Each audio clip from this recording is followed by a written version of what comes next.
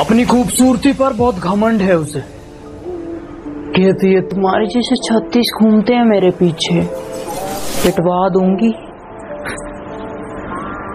जिन कुत्तों से तुम मुझे पिटवाने की बात कर रही हो वो कुत्ते मेरी ही बात मानते हैं।